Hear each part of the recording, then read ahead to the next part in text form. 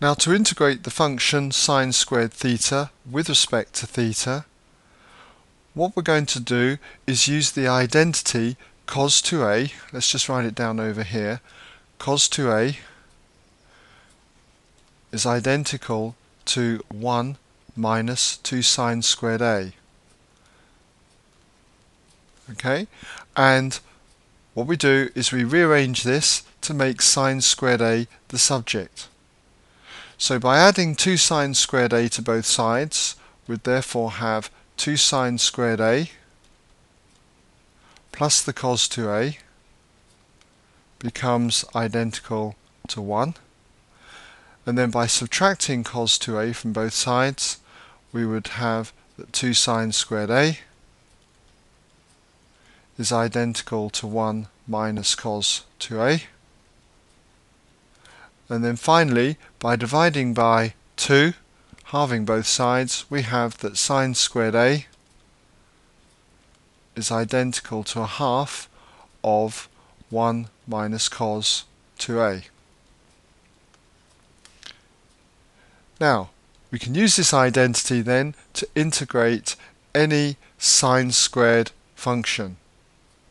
And in this particular example, you'll notice that the theta that I've got here is equivalent now to the a.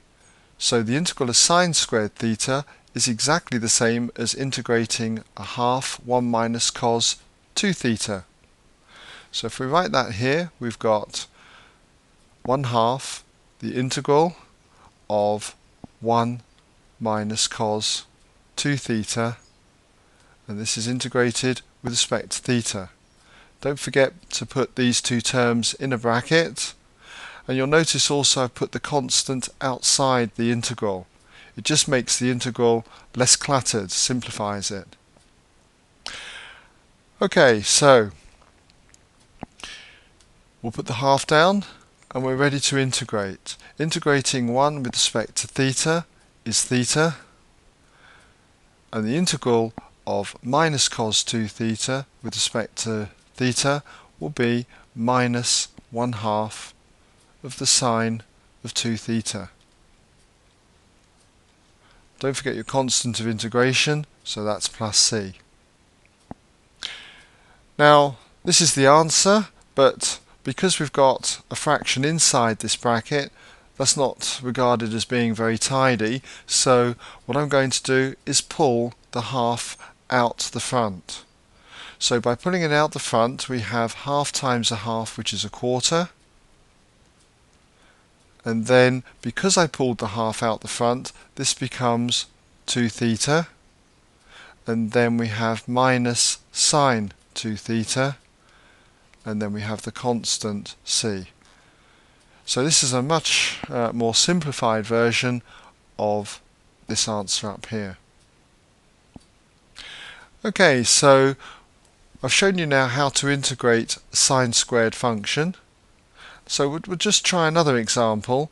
Um, this time, let's suppose we have a number out the front. Let's suppose we have to integrate 3.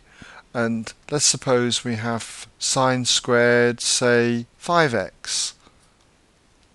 Okay, sine squared 5x, and we've got to integrate this with respect to x. Well, in this example, okay, you'll notice that I've got sine squared 5x. Over here I've got sine squared a. So clearly the a is now replacing, or I should say the 5x is replacing the a. So we have sine squared 5x equals a half 1 minus cos 2 lots of 5x. In other words, the cosine of 10x.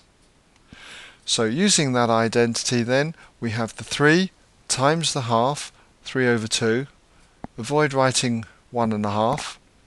And then we have the integral of 1 minus the cos of 10x, double the 5x dx. Okay? So we have the 3 over 2 at the front, and the integral of 1 now, with respect to x, is simply x and the integral of negative cos 10x with respect to x is minus 1 tenth of the sine of 10x. And then we have the constant of integration plus c. And in this example, I don't really want that one tenth inside this bracket, so I'm going to pull one tenth out the front. So we have 3 over 2 multiplied by one tenth, so we end up with 3 over 2 tenths, which are 20. 3 over 20. And then the bracket. And because we pulled the tenth out, we need to make this 10x. There we go. And then minus sine of 10x. And again, plus c. So, we therefore should be able to now use this identity to integrate any sine squared function.